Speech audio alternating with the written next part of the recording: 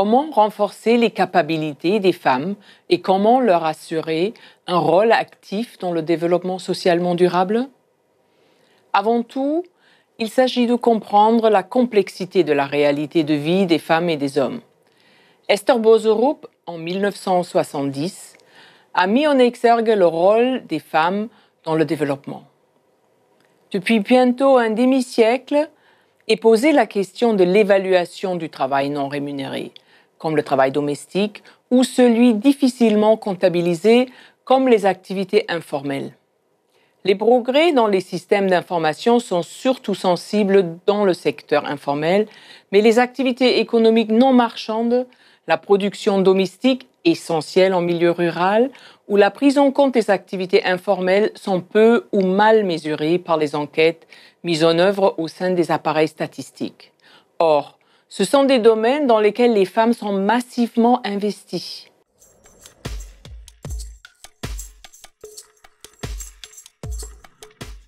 Les analyses empiriques réalisées dans ce cadre conceptuel sont le plus souvent orientées sur la dimension économique, monétaire et conditions de vie. Elles s'inscrivent dans les travaux sur la pauvreté et les inégalités, dont la réduction est devenue l'objectif central de nombreuses politiques publiques. Des études mobilisent des données recueillies à un niveau microéconomique auprès des ménages et parfois auprès de certains membres à l'intérieur de ces ménages. Or, les inégalités de genre comme les autres inégalités, varient beaucoup, que ce soit entre milieux rural et urbain, entre groupes ethniques, entre groupes socio-économiques ou selon le degré d'enclavement de la zone. L'exemple d'une enquête en Guinée maritime du début des années 2000 illustre la pertinence d'une différenciation des données selon le sexe. En milieu rural des Guinées maritimes, où la polygamie est la norme, les femmes sont responsables d'une partie des activités comme la fabrication d'huile de palme ou la saliculture. Ces productions sont destinées à la commercialisation et peuvent constituer parfois plus de la moitié du revenu monétaire du ménage. Ainsi, sur certains sites de l'Observatoire de la Guinée maritime, plus de 80% des ménages produisent du sel avec une production moyenne d'une tonne par ménage. Ce sont donc les femmes du ménage qui savent combien elles sont produites, quelle quantité elles sont vendues et à quel prix.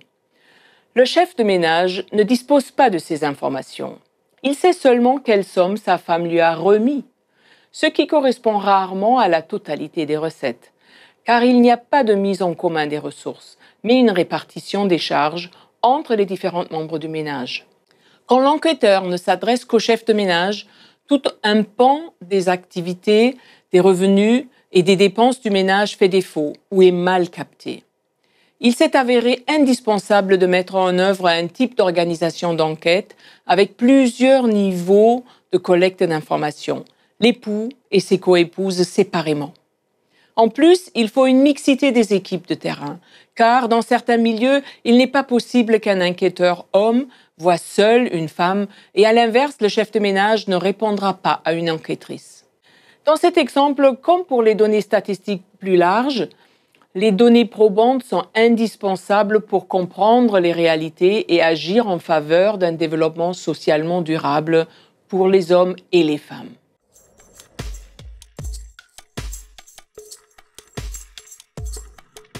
Sur la base de ces données, les acteurs du développement tentent de tenir compte des inégalités de genre dans leurs politiques, programmes et projets. Ces derniers ont fait l'objet d'expérimentations pour la prise en compte du genre. Des vagues de différentes approches se sont succédées, parmi elles l'approche de l'intégration des femmes dans le développement, qui a progressivement été supplantée depuis le milieu des années 1990 par la vision plus large de genre et développement. Ce changement de perspective a des implications dans les programmes et dans les politiques de développement. En effet, il ne s'agit plus d'avoir une approche isolée, quasi sectorielle, avec des projets spécialement conçus pour les femmes, projets souvent cantonnés aux domaines sociaux ou à des activités dites féminines. Depuis maintenant une vingtaine d'années, le défi est d'intégrer la dimension du genre de manière transversale dans toutes les interventions qui ont des impacts sur les activités humaines. Cette vision transversale est en adéquation avec l'approche par les capacités, Tout d'abord par ses aspects multidimensionnels et ensuite dans l'objectif de renforcement des pouvoirs d'action des femmes, empowerment, poursuivi dans l'approche genre et développement. Dans la décennie après la conférence internationale de Pékin de 1995, le gender mainstreaming est devenu la règle, même si son application connaît un succès variable. L'idée est de généraliser la prise en compte du genre de manière transversale dans tout projet ou programme de développement. Il s'agit d'introduire le questionnement du genre à toutes les étapes de la conception, de la planification, de la mise en œuvre ou de l'évaluation des programmes et politiques. Pour cela, de nombreux outils accompagnés de formations ont été mis en place. Les résultats de toutes ces actions sont assez mitigés selon les institutions, en raison sans doute de la persistance d'un important biais anthrocentrique. Si l'analyse sous l'angle du genre est intégrée sans trop de réticence dans les secteurs sociaux comme l'éducation ou la santé, il n'en est pas de même sur des projets d'infrastructure, comme les routes, ou certains projets productifs où il faut une intervention volontariste pour que cette dimension soit acceptée. Pourtant, le prisme du genre apporte toujours une meilleure prise en compte des acteurs et des populations concernées dans toute leur diversité.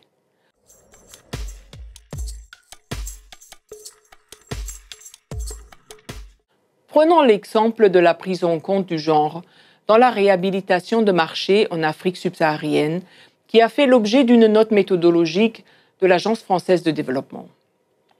Ces projets de réhabilitation sont souvent conçus dans une logique économique et financière.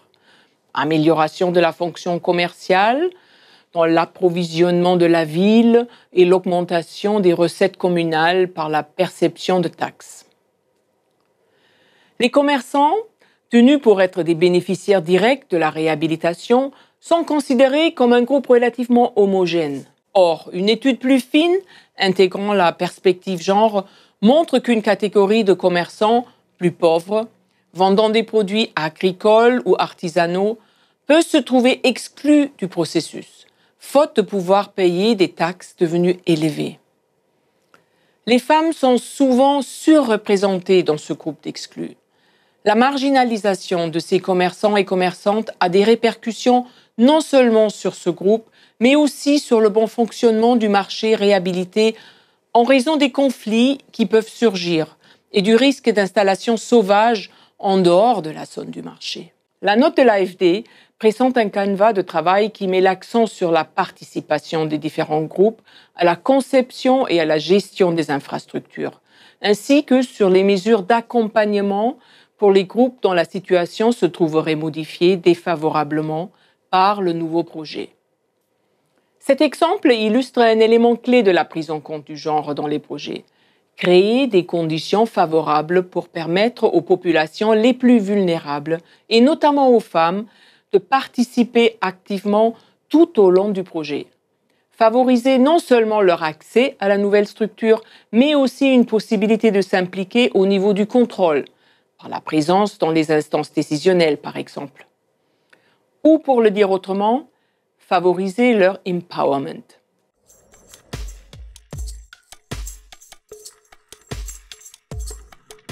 En effet, des interventions du développement intégrant le genre doivent nécessairement adopter une démarche résolument participative.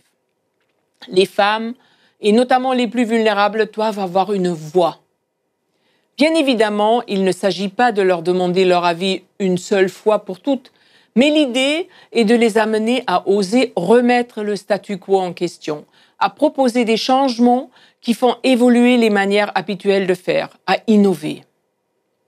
Pour cela, ces femmes doivent non seulement avoir des moyens et des connaissances, donc du capital physique et humain, mais aussi plus de confiance en elles, plus de pouvoir intérieur, comme c'est formulé dans certains travaux sur l'empowerment.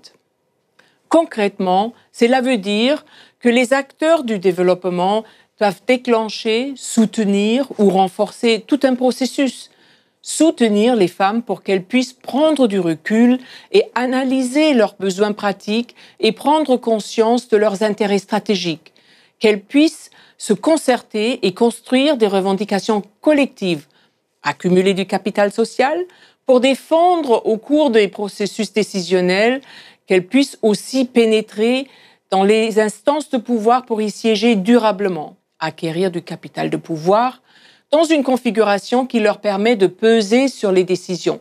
On considère a priori que le seuil quantitatif minimal à dépasser pour avoir du poids est de 30%. Cet accent sur la qualité de la participation des femmes augmente les chances de peser sur les rapports sociaux entre femmes et hommes. Et il contribue à éviter deux écueils. D'une part, ce changement des règles du jeu est potentiellement plus durable, même après la fin du projet, financé par l'extérieur, que des actions volontaristes pour les femmes, mais qui ne s'appuient pas sur leur propre mobilisation. D'autre part, ce focus sur le pouvoir de participation des premières concernées réduit le risque d'ethnocentrisme dans l'approche genre et est souvent taxé. En effet, il ne s'agit pas de décider avec une vision occidentale ce qu'il faut pour tel ou tel groupe de femmes, mais de leur permettre de le formuler et faire savoir elles-mêmes.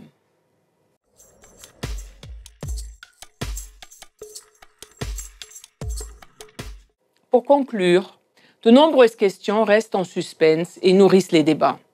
Par exemple, au sujet du concept d'empowerment, qui est d'abord utilisé dans les études sur le genre depuis le milieu des années 80, puis depuis les années 2000, repris dans une vision plus globale du développement qui s'inspire de l'approche des capacités, comme par exemple dans le rapport de la Banque mondiale de 2002 intitulé Empowerment et réduction de la pauvreté. Les définitions de l'empowerment ont été élargies et diversifiées à mesure que ce concept était de plus en plus utilisé. En revanche, la tendance à focaliser sur l'empowerment économique au détriment des autres dimensions a été constatée. Comment faire avancer la lutte contre les inégalités par l'approche empowerment? Comment utiliser l'intérêt partiel des acteurs multilatéraux pour l'empowerment de manière à promouvoir un empowerment plus large, plus politique? Une autre interrogation concerne la possibilité de l'approche genre d'agir sur les rapports sociaux femmes-hommes. Comme ces relations sont souvent déséquilibrées au détriment des femmes, beaucoup de projets genre agissent en faveur des femmes. Mais dans les dernières décennies, il est devenu évident que les rapports de genre ne s'équilibreront pas beaucoup sans l'évolution des hommes. Comment agir sur et avec les hommes? Quelles activités? Quels objectifs?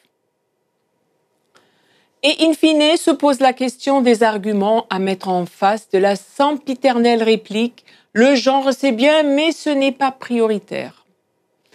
Quels arguments peuvent être mobilisés pour convaincre les décideurs politiques et les acteurs du développement de la nécessité de chausser des lunettes genre pour analyser les réalités et concevoir les politiques et initiatives de manière à agir en faveur d'un développement socialement durable aussi pour les femmes?